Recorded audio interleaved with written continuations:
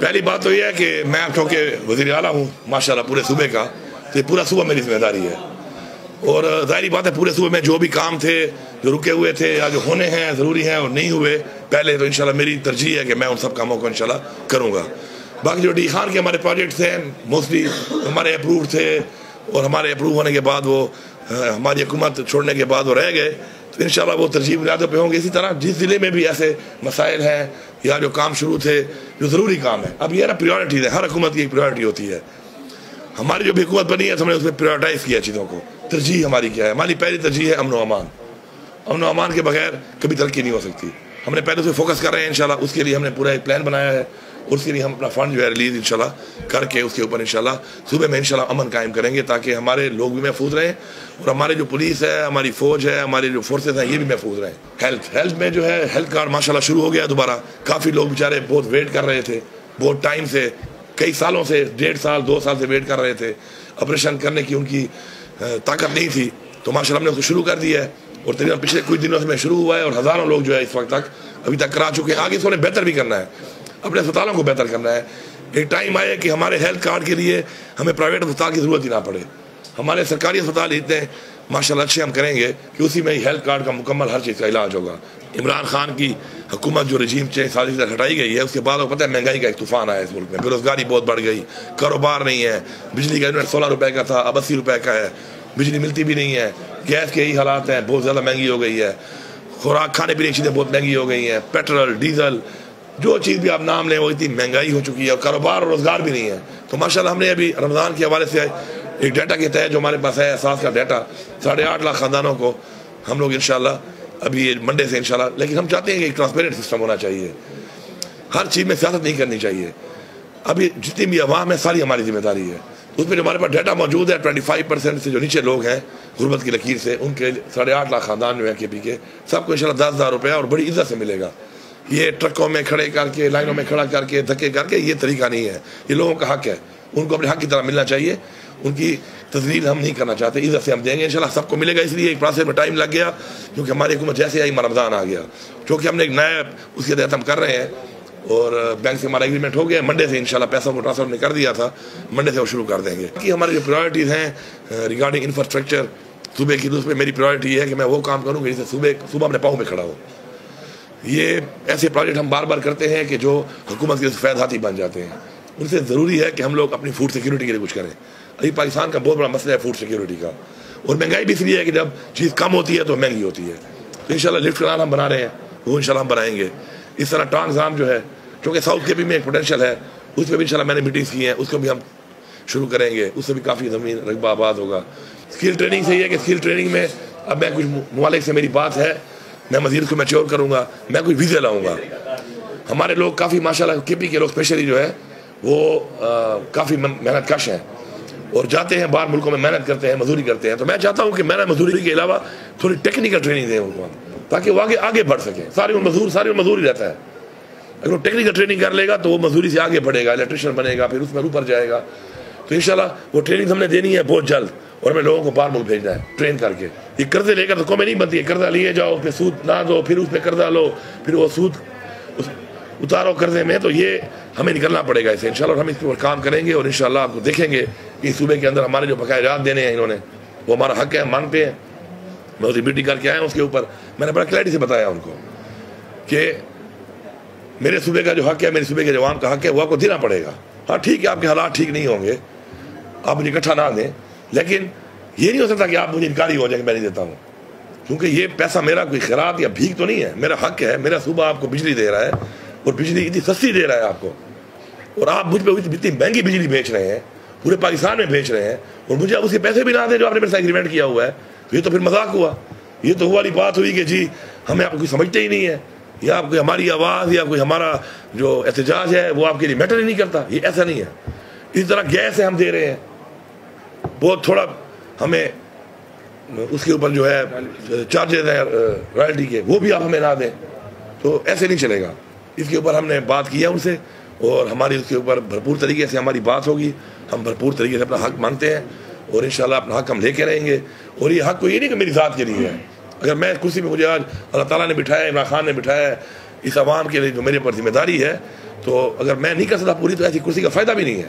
میں کیوں جا رہا اللہ تعالیٰ کے سامنے اپنے آپ کو شرمندہ کراؤں؟ شکر اللہ کا دیا سب کچھ ہے میرے پاس۔ ہماری صرف ایک صوبے میں حکومت ہے، ہمارا مینڈیٹ چوری ہوا ہے۔ آپ سب کے سامنے ہے، جس طریقے سے انہوں نے مینڈیٹ چوری کی ہے۔ ہمارے لوگوں کا چھتیس ہزار والے کو، پرائے کو ایک چھتیس کر دیا۔ ہمارے ایک لاکھ چھتیس ہزار والے کو چھتیس ہزار کر دیا۔ جو ڈاکہ ڈالا ہے انہوں نے مینڈیٹ کے اوپر۔ تو پھر بھی ہماری اس ایک صوبے میں حکومت ہے۔ میں پورے پاکستان کو بتا رہا ہوں کہ آپ مینڈیٹ جو آپ کا چوری ہوا ہے اس لیے آپ آواز اٹھائیں۔ اپنا حق اگر آپ نہیں لیں گے اپنے حق کے لیے آپ بات نہیں کریں گے ہمیشہ آپ غلام رہیں گے۔ غلام اپنے غلام بنتے جائیں گے آپ۔ اور ساتھ ساتھ انشاءاللہ موازنہ کریں ان کا بھی کریں۔ جو بغیر مینڈیٹ والے ہیں اور ہم مینڈیٹ والے ہیں انشاءاللہ ہمارا بھی کریں۔ یہ صبح انشاءاللہ ایک مثالی صبح بنے گا۔ اس میں کیا دیکھیں جی الحمدللہ میں میرا سارا ہر چیز ڈکلیئرڈ ہے۔ میں نے ہمیشہ ڈکلیئر کی ہے۔ اور جب سے میں سمجھتا ہوں کہ میں وہ پالیٹیشین ہوں کہ جب سے میں نے پالیٹکس شروع کی ہے الحمدللہ میرے پہ نیب نے پوری انکوائری کی ہوئی ہے۔ ان کے ریکارڈ کے مطابق ترپن سو کنال زمین میں باپ دادے کی بیچ چکا ہوں۔ میں میں پوچھتا ہوں کہ پاکستان میں اتنا بڑا کوئی زمیندار بھی ہے، اس کی ترپن ففٹی تھری ہنڈریڈ کنال ستائیس مربع اس کی زمین کی ملکیت ہو میں تو بیچ چکا ہوں۔ باقی میں اس چیزوں پہ نہ گیلا کرتا ہوں۔ میں خوش ہوتا ہوں کہ ٹھیک ہے، آؤ، کرو احتساب۔ اچھی بات ہے۔ اگر میں احتساب کے اوپر اعتراض کروں گا تو ظاہری بات ہے، پھر تو احتساب ہوگا نہیں اس ملک میں۔ تو میں تو ویلکم کرتا ہوں ہمیشہ کہ آئیں۔ پہلے بھی میرے پہ اس طرح ہوئے ہیں، انہوں نے میرے پہ کیے ہیں مختلف۔ میں نے کبھی، ہمیشہ میں نے کہا ہے، بالکل ویلکم آپ کریں، آپ دیکھیں۔ اب اگر ہم انصاف سے بھاگیں گے تو ہم کسی اور کیسے کر سکتے ہیں؟ تو اس میں مجھے کوئی نہ مسئلہ ہے، میری ہر چیز کلیئر ہے، میں اس کے تیار بھی ہوں اور میں خوش آمدید کہتا ہوں کہ ویل ڈن آؤ۔ لیکن یہ ہے کہ ایک رات سپورٹ کرو پھر۔ میرے پہ آپ نے کیے انکوائریاں دکھ کی بات یہ ہے کہ میرے بری ہوئی ماں پہ، میری بہنوں پہ، میرے چھوٹے چھوٹے بچوں پہ، میری بیٹیوں پہ آپ نے پورے پاکستان میں آپ نے انکوائری کی ہے کہ کہاں کہاں ان کے نام پہ کچھ ہے نہیں ہے۔ جب پھر نہیں نکلا اور یہ نکلا جبکہ ترپن سو کنال بیچی ہے، پھر چیئرمین نیب صاحب ایک ایوارڈ بھی مجھے دے دو۔ ایک ایوارڈ میرا حق بنتا ہے پھر۔ ہاں میں گلا نہیں کرتا، لیکن پھر ایوارڈ میرا حق بنتا ہے کہ آپ نے نکالا تو کچھ نہیں۔ الٹا جو میں نے سیاست میں نقصان کیا تو آپ آئیں، ایک اچھی پریس کانفرنس کریں اور اس قوم کو بتائیں کہ ایسے لوگ بھی ہوتے ہیں جو باپ دادی کی آزادی بیچتے ہیں اپنی اس طرح۔ اور اتنی بیچتے ہیں کہ اتنی اتنے کوئی صاحب جداد نہیں ہوتا، اتنی زیادہ اگلے بیچتے ہیں۔ اس سے لوگوں کو ایک انسینٹیو ملے گا۔ اور میں ایک دن عمران خان صاحب کو کہہ رہا تھا مجھے یاد ہے میں نے خان صاحب کو کہا میں نے خان صاحب آج تک اپنے ایوارڈ دیے ہیں ہمارے صدارتی ایوارڈ ہوتے ہیں۔ جب ہم فیڈرل گورنمنٹ میں گئے تو ایونٹ ہوتے تھے ہمیں بھی جانا پڑتا تھا۔ تو میں نے کہا آج تک ایمانداری پہ ایوارڈ نہیں دیا آپ نے۔ آپ نے نوٹ کیا ہے؟ گانا اچھا گاتا ہے اچھا ایکٹر ہے اچھی ایکٹریس ہے اچھی اچھا ڈانسر ہے اچھا مصور ہے اچھا پلیئر ہے اچھا کتاب لکھنے والا مصنف ہے اچھا فوجی ہے اچھا سپاہی ہے۔ اچھا استاد ہے، پروفیسر ہے، ہر چیز کا ایوارڈ ہے۔ ایک چیز کا ایوارڈ نہیں ہے، ایمانداری کا۔ اگر ہم ایمانداری کا بھی سارا ایوارڈ دیں، تو قوم ایمانداری کی طرف جائے گی۔ ایک قوم ایمانداری کا ایوارڈ نہیں دیتی ہے، پھر کہتے ہیں ایماندار بنو، کیسے بنیں گے؟ تو اس طرح کچھ چیزیں ہیں جو ہمیں لانی ہیں سسٹم کے اندر۔ انشاءاللہ وہ ہو جائیں گی۔ تو یہ رشوت، آپ رشوت دینا چھوڑ دیں، رشوت لینے والے ختم ہو جائیں گے۔ پہلے تو آپ خود رشوت دے رہے ہو، آپ لوگ کیوں خریدتے ہو آپ پیسوں پر؟ نہ خریدو۔ آپ نہیں خریدو گے، نوکریاں نہیں بکیں گی۔ خود ہی خریدتے ہو، دام لگاتے ہو۔ لوگوں کو اس کام پہ لگاتے ہو، پھر کہتے نوکریاں بکتی ہیں۔ ایسے تو نہیں ہے۔ نوکری خریدتا کون؟ رشوت لینے اور دینے والا دونوں جنمی ہے خود جنمی بن رہے ہو۔ پھر اگلے سے گلا کر رہے ہو یہ بھی جنمی ہے۔ تو آپ خود جنمی بن رہے ہو۔ آپ آپ پانچ چھ لاکھ پہ کاروبار کیوں نہیں کرتے عزت کا چپڑاسی بن کے آپ دھراتے پہ کھڑے ہونے کو تیار ہو چھ سات لاکھ روپے بھر کے۔ آپ اسی سال سے کاروبار کرو۔ کیوں نہیں کرتے آپ لوگ؟ کیونکہ آپ خود جنمی بننے کے تیار بیٹھے ہو۔ میں آپ کو لکھ کے دیتا ہوں کہ رشوت دینا پوری قوم فیصلہ کرے گا، رشوت نہیں دیں گے، رشوت ختم ہے۔ ضرورت ہی نہیں ہے اینٹی کرپشن کی، نہ نیب کی۔ لیکن پھر کیا ہوگا؟ پھر میں کہوں گا، چلو، یہ تو نہیں دے رہے، چلو میں اپنا کام کروا لوں۔ جب میں اپنی میں میں میں رہتا ہوں نا، کہ میرا کام ہو جائے، میرا مسئلہ حل ہو جائے، میرا بیٹا لگ جائے، میری بیٹی لگ جائے۔ تو پھر جب آپ میں میں رہیں گے تو پھر میں قومیں بنتی ہیں ہم سے، میں سے نہیں بنتی۔ تو ہم اس میں کے چکر میں تباہ ہوئے پڑے ہیں اور یہ جتنے بھی ہمارے مسائل ہیں، یہ ہم سے ہی ہیں۔ ہم نے یہ ٹھیک کرنے ہیں، لیکن ہم ٹھیک کرنے کو تیار نہیں ہے اب میں نے پورے صبح کی عوام کو تین چار دفعہ میں پیغام، جب بھی میں جلسہ کرتا ہوں، پروگرام کرتا ہوں، میں کلیئرلی بتاتا ہوں۔ آپ رشوت مت دو بس ختم بات۔ اگر رشوت مانگتے ہو تو ہاتھ ڈالو آپ۔ کیوں ہاتھ نہیں ڈالتے واپس کو جب قرآن میں حکم ہے، اللہ تعالیٰ کا حکم ہے کہ رشوت لینے اور دینے والا جنمی ہے، ایک جنمی شخص آپ سے زیادہ بہادر ہے۔ اب اتنے کمزور ہو گئے، کیوں دیتے ہیں آپ؟ نہ دیں آپ، کسی میں ضرورت نہیں آپ سے لے سکے۔ تو یہ چیزیں ہم نے خود کرنی ہے یہ چیزیں بنیادی چیزیں ہیں۔ جب جس دن ہم اپنے راستے پہ چل پڑیں گے، ہمارے سارے مسئلے حل ہیں۔ اپنے گھر میں آپ آتے ہو، جب گھر بناتے ہو، اینٹ ایک ایک اینٹ چیک کرتے ہو۔ ایک ایک اینٹ۔ کہ خراب تو نہیں ہے۔ آپ کے ٹیکسی پیسے، آپ کا روڈ بن رہا ہے، ابھی گلی بن رہی ہے۔ آپ کو پرواہ ہی نہیں ہے۔ آپ کھڑے ہی نہیں ہوتے اس کے اوپر۔ ٹھیکیدار کیا ضرورت ہے؟ سارے کھڑے ہو چیک کریں۔ دو بندوں ڈیوٹی لگاؤ گے، بھائی گلی بن رہی ہے، آج تم دو کھڑے ہوگے، مثالہ چیک کرو گے۔ کل تم دو کھڑے ہوگے، پرسوں یہ دو کھڑے ہوں گے۔ غلط کام کرے ادھر ہی روکو اس کے بعد ہاں۔ اس کے بعد اگر روکنے کے بعد، احتجاج کے بعد آپ کو وزیر اعلیٰ کہتا ہے کہ نہیں، آپ یہ نہ کرو ٹھیکیدار ٹھیک کام کر رہا ہے، میں ٹھیکیدار سے پھر آپ گلا کر سکتے ہوں۔ اس تو میرا آپ سے گلا ہے۔ بس بحثیت وزیر اعلیٰ۔ بحثیت ایم پی ہے میں نے کہ بھائی جان، تم کا سروار ہو۔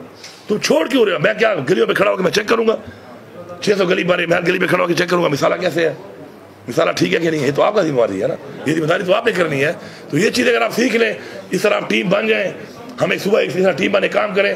میں اپنے کام کروں گا، میں آپ کے لیے چیزیں لاؤں گا، وسائل لاؤں گا، وسائل بڑھاؤں گا، روزگار کے مواقع فراہم کروں گا۔ یہ کام آپ لوگ کریں گے۔ اس پہ اگر ساری ٹیم بن کے پورا صبح ایک ٹیم بنتا ہے، صبح کے سارے مسائل انشاءاللہ۔